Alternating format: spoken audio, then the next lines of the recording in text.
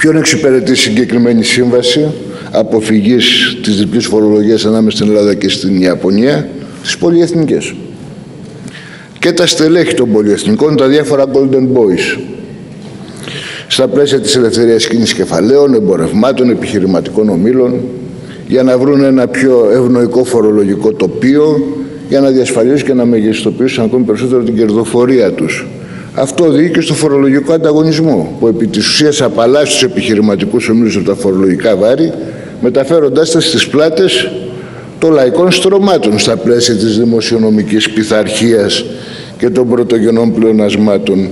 Και από αυτή την άποψη, λοιπόν, οι Έλληνες επιχειρηματίες όχι μόνο δεν στραγγαλίζονται από τη φορολογία, όπως είπε λάθος έκφραση ο κοινοβουλευτικός εκπρόσωπος του ΣΥΡΙΖΑ, αλλά αντίθετα απολαμβάνουν σκανδαλώδεις φοραπαλλαγές.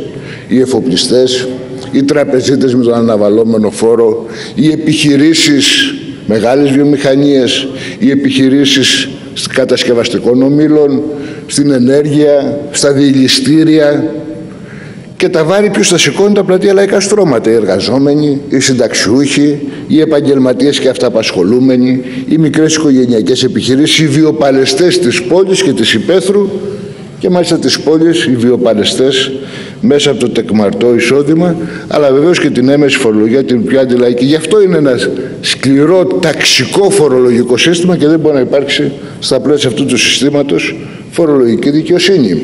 Από την άλλη τη μεριά, και με αφορμή την ερώτηση των 11 βουλευτών της Νέας Δημοκρατίας για το ιδιωτικό χρέος ε, σηκώνεται μια σκόνη.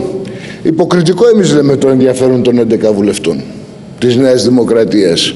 Γιατί, γιατί οι επιτουσίες αποδέχονται αυτό το αντιλαϊκό πλαίσιο που στραγγαλίζει τα λαϊκά νοικοκυριά και προσπαθούν να το εμφανίσουν ως μονόδρομο αυτή την ασκούμενη αντιλαϊκή πολιτική πλασάροντας μια χαλάρωση υποτίθεται του αυτού του ασφιχτικού πλαισίου που οι όποιες ανάσες δεν πρόκειται να οδηγήσουν στην ανακούφιση απλά θα κάνουν το κομπόδεμα στο λαιμό λίγο πιο σφιχτό.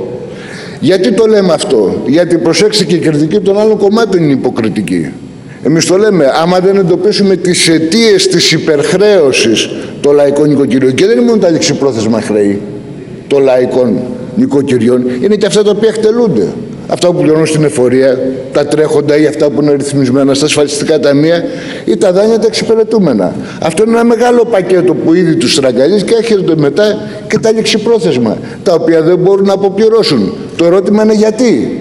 Γιατί μειώθηκαν όλα αυτά τα χρόνια οι μισθοί, μειώθηκαν οι συντάξεις. Είχαμε μια τεράστια φοροεπιδρομή σε αυτούς τους μειωμένους μισθούς και συντάξεις. Είχαμε περαιτέρω εμπορευματοποίηση της υγείας, της παιδείας, μόνο από το φάρμακο. 700 εκατομμύρια το 23 πλήρωσαν παραπάνω οι ασφαλισμένοι.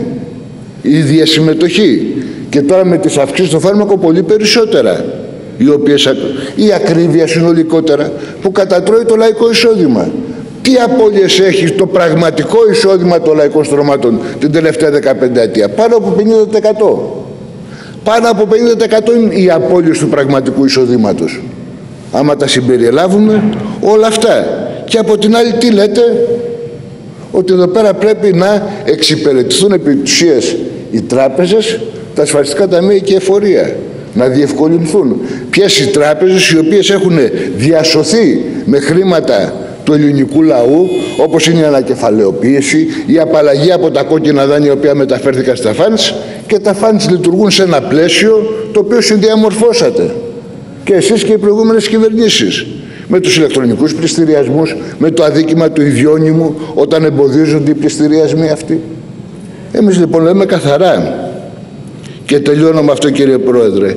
Η μη μέτρα ασπιρίνες μέτρα τα οποία επί τους τι εξυπηρετούν εξυπηρετούν και διευκολύνουν τις τράπεζες τις εσφορίες και τα ασφαλιστικά ταμεία για να εισπράξουν αυτά τα οποία χρωστούνται με τις διάφορες δόσεις, την επέκταση και όλα αυτά είναι σε βάρος, δεν οδηγούν στην ανακούφιση των λαϊκών στρωμάτων. Εμείς λέμε καθαρά ότι πρέπει να υπάρξει κούρεμα όχι μόνο τόκων πάνω τοκίων κεφαλοποιημένων τόκων αλλά επί και του αρχικού κεφαλαίου κατά 50% στο ίδιο επίπεδο που χάσαν τα πραγματικά εισοδήματα την τελευταία 15 ετία. Να πληρώσουν δηλαδή οι μεγαλομέτωχοι των τραπεζών και το κράτος.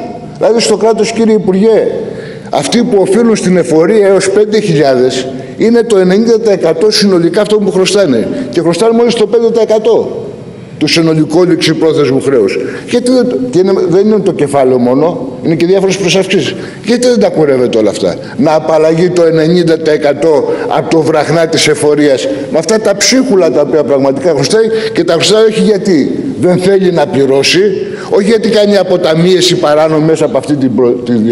αλλά γιατί δεν μπορεί και δεν θα μπορέσει όταν πρόκειται να πληρώσει και τους τρέχοντες φόρους και αυτά που χρωστάει και τα υπόλοιπα όταν η ακρίβεια εκτοξεύεται. Αυτή λοιπόν είναι η πρόταση του ΚΚΠ, είναι η πρόταση σύγκρουσης με τις αιτίες και τους υπεύθυνους που έχουν οδηγήσει στην εξαθλίωση πλατεία λαϊκά στρώματα. Ευχαριστώ πολύ κύριε Πρόεδρε.